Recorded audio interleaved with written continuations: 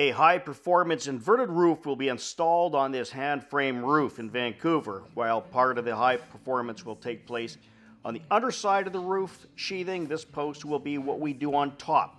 Once the roof was sheeted, we applied that blue Adhero 3000 membrane, which will serve as our air control layer and WRB weather resistant barrier. We installed two inches of rock wool, which served as our continuous thermal control layer, but it could have been four or six inches as well. The vent strips are installed providing venting above the thermal control layer.